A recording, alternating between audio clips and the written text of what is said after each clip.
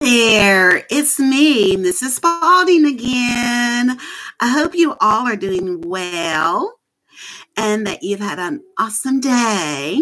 So, what did you do today? You're surviving well during this pandemic. You're looking good, feeling good. Did you go outside? Okay, some of you rode your bikes and it was a little colder today. Did you wear a jacket? Did you remember a jacket? Okay, I went for a walk today and I had to wear a jacket and I was afraid it was going to rain, but it didn't rain. Yay! And I wanted to read my story outside, but it's a little windy. So I decided to stay inside in my office where it's nice and warm, not too toasty, but warm. So I hope that you guys are doing well. Did you, how was school today? On the computer. Do you see any of your friends on Zoom? How many of you have been uh, talking to your family? Okay, so some of you said that you've been talking to your grandma and your pops. That's so awesome. I know they love seeing you and hearing from you. Well, without much further ado, I want to start reading the story for today.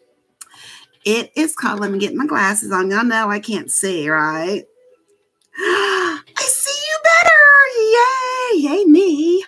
Okay, so today I'm going to read a book by the name of Stevie. It's entitled Stevie, and it's written and illustrated by John Steptoe. So he wrote the book and he drew the pictures too. Isn't that exciting? Well, it's exciting for me because, you know, I'm an author as well.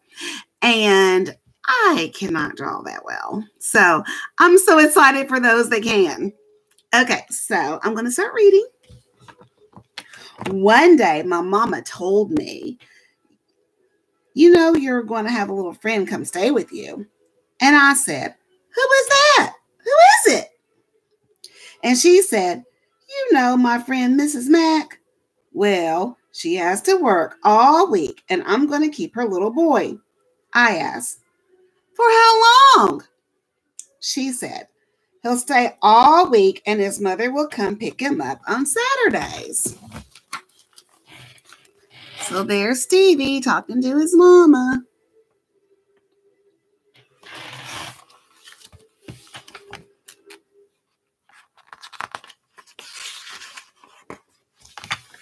The next day, the doorbell rang. It was a lady and a kid.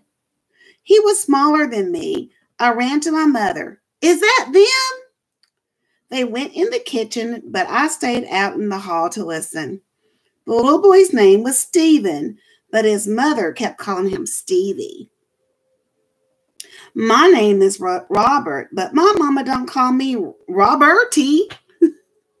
What's a nickname usually for Robert? It's usually Rob or Robbie, but Ro- Robert. That's kind of funny. Okay, sorry. And so Steve moved in with his old crybaby self. He always had to have his way, and he was greedy too. Everything he sees, he wants. Could I have some of that? Give me this, man. Since he was littler than me, while I went to school, he used to stay home and play with my toys. I wish my mother would bring some of his toy. His mother would bring some of his toys over here to break up. I used to get so mad at my mother when I came home from school. Mama, can't you watch him and tell him to leave my stuff alone?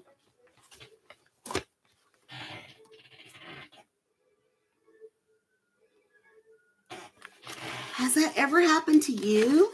Have you ever had like um little uh, nieces and nephews or cousins come to your house that your mom was keeping? And did they get into your things? I know that's aggravating. M- my Malia is an only child and she does not like that. So I can kind of understand how Robert feels. Let's keep reading. Then He used to like to get up on my bed and to look out the window and leave his dirty footprints all over my bed. And my mama never said nothing to him. And on Saturdays, when his mother comes to pick him up, he always acts, tries to act cute, like just because his mother is there. He picked up my airplane and told him, and, and I told him not to bother it. He thought I wouldn't say nothing to him in front of his mother. I could never go anywhere without my mother saying, Take Stevie with you now. But why I got to take him everywhere I go, I'd say. Now, if you were staying with someone, you wouldn't want them to treat you mean, my mother told me. Why don't you and Stevie try to play nice? Yeah, but I always been nice to him with his old spoiled self. He's always got to have his way anyway. I had to take him out to play with me and my friends. Is that your brother, Bobby? They'd ask me. No. Is that your cousin? No. He's just my friend and he's staying at my house, and my mother made me bring him. Ha ha! You got a babysit, Bobby, the babysitter. Uh, be quiet. Come on, Steve. See? Why you gotta make all my friends laugh for? Ha ha! Baby, the Bobby the babysitter, my friend said. Hey, come on, y'all. Let's go play in the park. You coming, Bobby? One of my friends said. And there's Stevie looking out the window.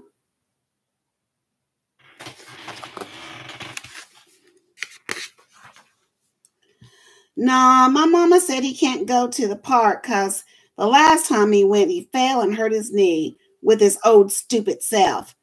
And then they left. You see? You see? I can't even play with my friends. Man, come on. I'm sorry, Robert. You don't like me, Robert? I'm sorry, Stevie said. Oh, I feel sorry for him. Uh, be quiet. That's okay, I told him.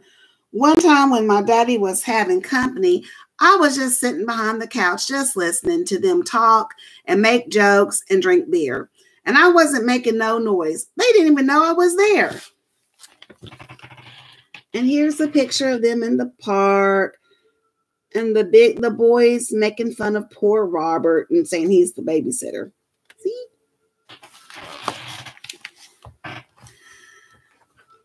Then here comes Stevie with his old loud self. Then, when my father heard him, he yelled at me and told me to go upstairs just because of Stevie. Sometimes people get on your nerves and they don't mean it or nothing, but they just bother you. Why I gotta put up with him? My mama only had one kid. I used to have a lot of fun before old stupid came to live with us. One Saturday, Stevie's mother and father came to my house to pick him up, like always. But they said that they were going to move away and that Stevie wasn't going to come back anymore.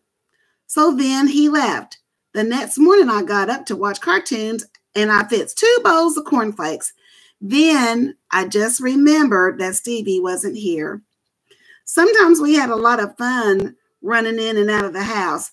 Well, I guess my bed will stay clean from now on, but that wasn't so bad. I couldn't help it because he was stupid. I remember the time I ate the last piece of cake in the corn bread box and blamed it on him. We used to play cowboys and Indians on the stoop.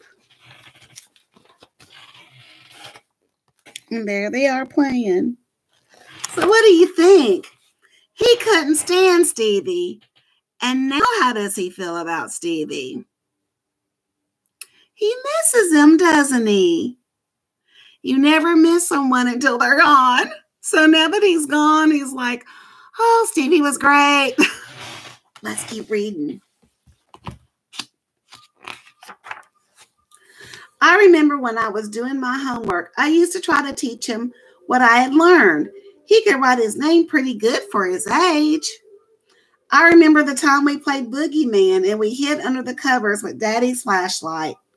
And that time we was playing in the park under the bushes and we found those two dead rats. And one was brown and one was black. Ew. I don't like rats.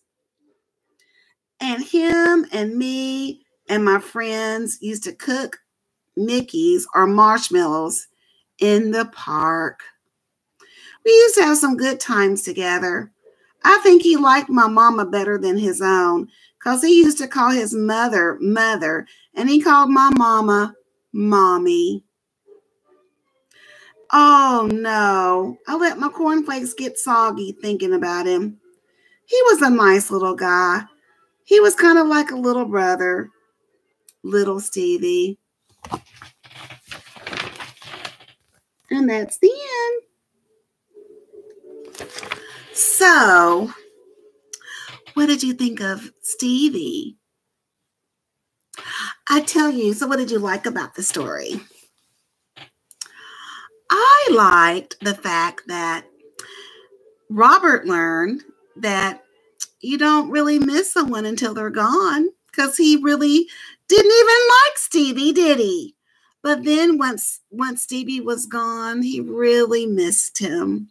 So I hope that if you have a little brother or sister or cousin or a step cousin or whoever, a little friend that visits your house, if your mom has to help babysit for someone because of COVID 19, that you'll be nice to them.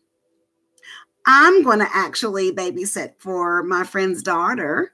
So it might be different for my child. She's a big kid. She can take care of herself. But if you have a little person over your house because of COVID 19, the quarantine, or whatever reason, you know, be nice. You never know. You might make a new friend. Be nice and patient. You never know. You will miss them when they're not there. Okay. Well, I hope you enjoyed Stevie. And I will see you tomorrow at 7. Bye bye.